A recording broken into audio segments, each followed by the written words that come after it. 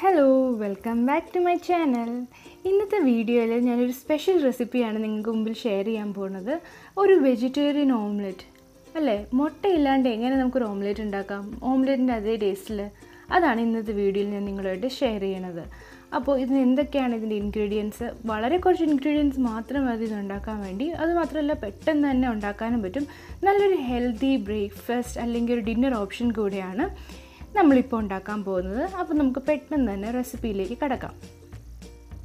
ഇതിനാവശ്യമായിട്ടുള്ളത് ഒരു cup gram floor അതായത് കടലമാവ്. പിന്നെ നമുക്ക് ഇഷ്ടമുള്ള വെജിറ്റബിൾസ് ഒക്കെ എടുക്കാം. ഞാനിവിടെ ഓണിയൻ എടുത്തിട്ടുണ്ട്. പിന്നെ തക്കാളി ക്യാപ്സിക്കം പച്ചമുളക്. നിങ്ങൾക്ക് ഇഷ്ടമുള്ള വെജിറ്റബിൾസ് എല്ലാം ഇവിടെ ചേർത്ത് കൊടുക്കാം. ഇനി ഞാൻ ഈ കടലമാവ് ഒരു മിക്സിംഗ് ബൗളിലേക്ക് ഒരു ഇച്ചിരി വലിയ ബൗളിലേക്ക് മാറ്റുവാണ്.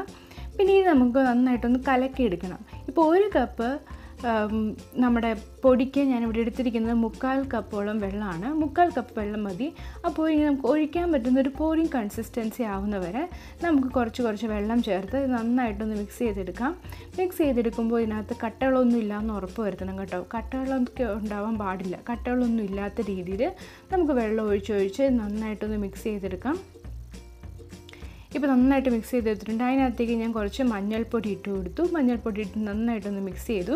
ഇനി നമുക്ക് എരിവിന് ആവശ്യമുള്ള മുളക് പൊടി അതായത് അര ടീസ്പൂൺ മുളക് പൊടി ഞാൻ ഇട്ട് കൊടുത്തു. പിന്നെ ഒരു കാൽ ടീസ്പൂൺ മല്ലിപ്പൊടി. പിന്നെ ഒരു നുള്ള് അജ്വൈൻ അതായത് അയമോദകം. പിന്നെ ആവശ്യത്തിന് ഉപ്പും കൂടെ ചേർത്ത് കൊടുത്തു. ഇനി ഇതെല്ലാം കൂടെ നന്നായിട്ടൊന്ന് ഇളക്കി യോജിപ്പിക്കണം. അതിനുശേഷം നമുക്കിവിടെ അരിഞ്ഞു വെച്ചിരിക്കുന്ന വെജിറ്റബിൾസും കൂടെ ഈ മിക്സറിനകത്തേക്ക് ചേർത്ത് കൊടുക്കാം. വെജിറ്റബിൾസ് നമുക്ക് ഇഷ്ടമുള്ള വെജിറ്റബിൾസ് എന്താണോ അതൊക്കെ ചേർത്ത് കൊടുക്കാം. നിറയെ വെജിറ്റബിൾസ് നമ്മൾ ഇതിനകത്ത് ചേർക്കുന്നുണ്ട്. അതുകൊണ്ടൊരു നല്ലൊരു ഹെൽത്തിയുമായിട്ടുള്ളൊരു മീലും കൂടിയാണ്. നിങ്ങൾക്ക് ഇത് വേണമെങ്കിൽ ഡിന്നറിന് ഡിന്നറായിട്ട് ഉപയോഗിക്കാം. അല്ലെങ്കിൽ ബ്രേക്ക്ഫാസ്റ്റ് ആയിട്ട് ഉപയോഗിക്കാം. അപ്പോൾ നിങ്ങൾക്ക് ഇഷ്ടമുള്ള പോലെ ഒരു വെറൈറ്റി ആയിട്ട് നമുക്കിത് ട്രൈ ചെയ്ത് നോക്കാവുന്നതാണ്. ഇപ്പോൾ ഇവിടെ ബാറ്റർ റെഡി ആയിട്ടുണ്ട്. നമുക്കിത് എങ്ങനെയാണ് ഉണ്ടാക്കിയെടുക്കുന്നത് നോക്കാം. അതിന് വേണ്ടിയിട്ട് ഞാനിവിടെ ഒരു അയൺ പാനാണ് എടുത്തിരിക്കുന്നത്. നമ്മൾ ദോശയൊക്കെ ഉണ്ടാക്കുന്ന ദോശയുടെ പാനില്ല അതാണ്. പിന്നെ ഞാനൊരു ഉള്ളി കൊണ്ട് കുറച്ച് എണ്ണ ഒന്ന് സ്പ്രെഡ് ചെയ്ത് കൊടുക്കുകയാണ്. ഉള്ളി കൊണ്ട് സ്പ്രെഡ് ചെയ്യുമ്പോൾ നല്ലൊരു മണമായിരിക്കും വരുന്നത്. അതിന് ശേഷം അപ്പം ഒരു മീഡിയം ഫ്ലെയിമിൽ വെച്ചിട്ട് വേണം ചെയ്യാൻ വേണ്ടി. ഇനി നമ്മുടെ ബാറ്റർ നമ്മൾ കുറച്ച് കുറച്ചായിട്ട് അതിനകത്തേക്ക് പോർ ചെയ്ത് കൊടുക്കുക എന്നിട്ട് ചെറിയൊരു റൗണ്ടാക്കി നമുക്കതിനെ പരത്തിയെടുക്കാം